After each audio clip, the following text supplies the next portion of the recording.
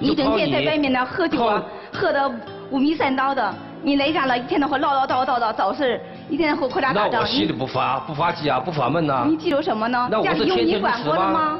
有没有你管呢？这个家呢？哪样不得我管呢？我给钱拿来家，你花就得了呗，什么事都我做了。那要你干嘛？你你光知道挣钱，家里一切都不管了。什么东西？你不是也是整天没你用我花钱了吗？我吃点饭，喝点酒，我和朋友聚一聚。那这不太正常了吗？我你你和朋友聚，你和朋友聚，整天晚上五了半夜回来呀？我知道你是在外面干什么呢？你是有心花呢，是怕我花钱，或为了你们这个家完花钱花多了，你现在是外面有心花了，要你不能这样，怕我花钱，你就是这样的人。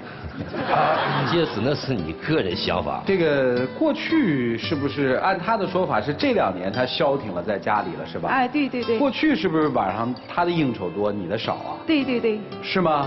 他根本就不在家，也不管理这个家里。你承认啊？去过去呢，我基本不做家，一年当中啊，在家里可能就是两三个月，因为全跑外吧，做生意嘛。哦。就近两年我什么不干了，在家里啊，可能就是。听明白了，听明白了。又想在一起，又不知道怎么处。对，因为过去的相处模式，大概更像是激情约会，是吧？是。一年有那么两三个月在一起，现在真的踏实下来，又不知道两个各自有过历史的人，各自有性格和自己交往圈子的人，怎么去相处？对对。又怕对方跑了，又不知道怎么留下来，就用各自的方式刺对方，对吧？他就是絮叨你，你就是跟朋友去喝个酒、跳个舞，是吧？所以钱的问题，陆陆续续的各种问题扑面而来，对吧？对。那怎么办呢？老师们，一起进入丘比特问卷。看这个大哥大姐这事儿啊，像个反转剧。在一起十一年了，三年前大哥老在外面，对吧？大姐是没有安全感，一心扑在家里头，结果见不着男朋友的面儿啊。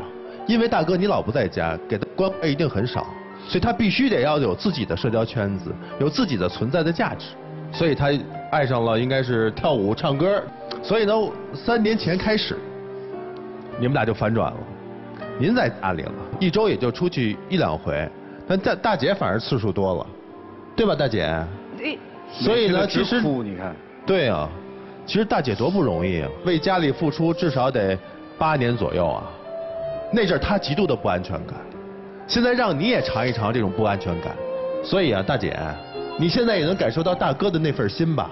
因为现在的大哥的感受就是曾经你的感受啊，感同身受，所以解决你们问题其实特别简单，因为都曾经有过类似的感受，现在或多或少是让对方感受自己当时吃过过的苦，所以啊，大姐，真想跟大哥领证吗？真想在一起过日子吗？也想。应该怎么做，大姐你应该很清楚。作为小弟的，就想看你们能够幸福。其实很简单，两个人一起出去多遛遛弯，不比你那些跳舞啊来的更实在、更幸福，而更能长久。好，谢谢。谢谢。